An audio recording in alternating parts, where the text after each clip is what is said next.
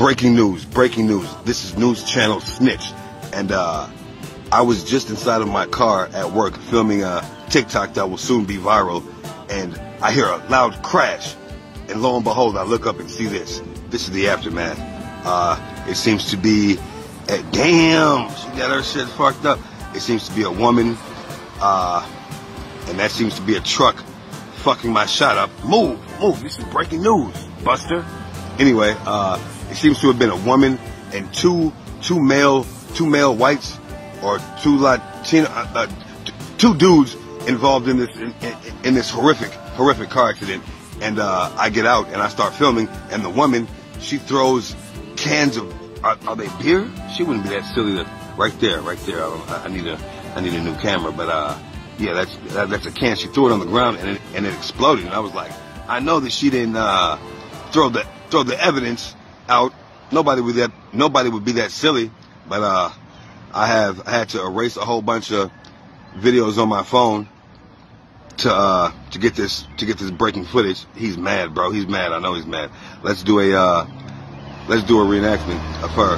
Um, oh goodness, I can't wait to see my boyfriend. well, I can't wait to see my boyfriend who I love. And then these guys, uh, hey bro, you wanna go, uh, uh, you wanna go skateboard? Smash! And then she's like, oh no. Oh no. My, uh, my boyfriend. But anyway, the cops should be here soon. I have problems.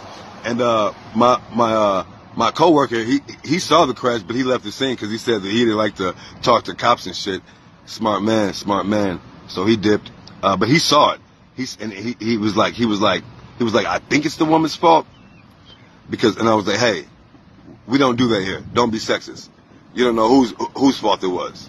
It was probably those, th- those guys' fault. They, they, they were probably, uh, I, I don't know. This is all, uh, unrehearsed. This is, I mean, that's how live action news goes sometimes, folks. Folks, like I said, this is News Channel Snitch. I have about one minute left on this phone, so uh, this is weird. Like anytime that I come in here to work, there's at least 14 fucking cops in here.